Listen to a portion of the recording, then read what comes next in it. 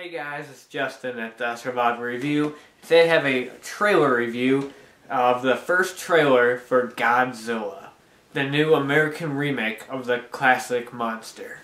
And this movie has been on my radar for since it pretty much since it started because one, I'm a die-hard Godzilla fan. Love the characters. I love the movies. They're awesome. And two, uh, I've been re- I read up on the movie a lot, and it just feels like the filmmakers are putting an effort into they're really putting effort into making this a true Godzilla movie and recreate paying respect to the character, which is great because the last time they remade Godzilla, they didn't give a crap. So, uh, this one hopefully will actually be a Godzilla movie. So to start off, the trailer starts so brilliantly with the soldiers doing a halo jump down to the city, uh, either trying to get to Godzilla or it's not fully explained, but that scene is so friggin' amazing. The way it's so well done and so engaging.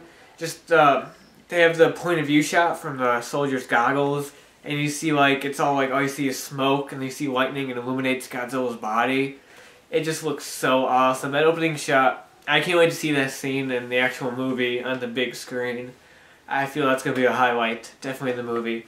And then after that, it's just a lot of shots of mayhem, of people running, of a subway train getting attacked, and just a lot of those quick shots like that. And then the final shot is a great shot, panning up to Godzilla, who's all covered in smoke. He's all you see is a silhouette, and then when he gets to the top, he roars. Boom! Cut to the title. Awesome trailer. Now Godzilla does not appear at really much at all in the show. You don't see a full-on view of Godzilla. And I know a lot of people were complaining about that, but it's a teaser trailer. What are you expecting? You're not expecting them to give everything away. They're gonna build this up. So it's I, I wasn't disappointed in that fact. Since all I wanted I just wanted to see footage from the movie, see what it was gonna look like.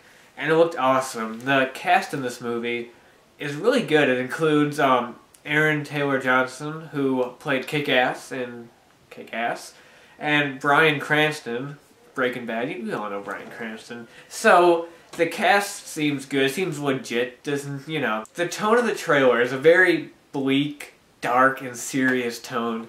And if that's actually the tone of the movie, it'll be great. I feel it's the perfect tone. We used to do like a modern reimagining, and it works. If the movie can actually recreate that tone from the trailer, I feel we're good. Some people might say that that might not be good since Godzilla is a uh, you know really cheesy sci-fi character.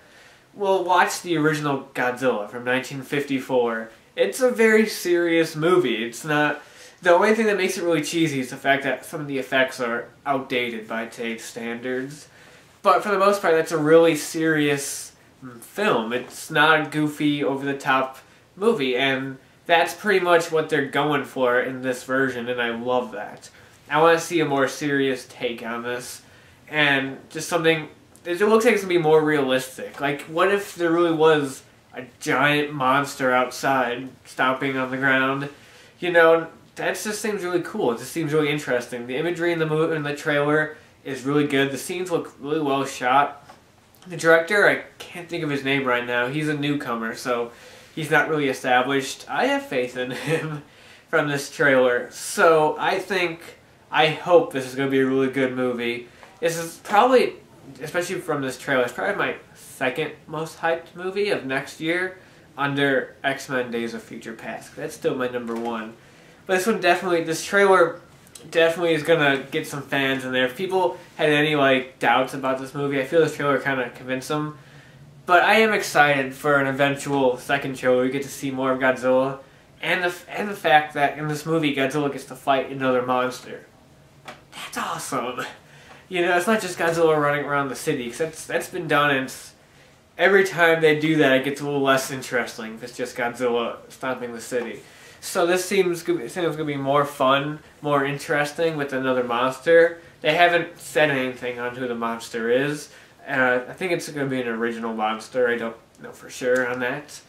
But we'll have to see as time will tell.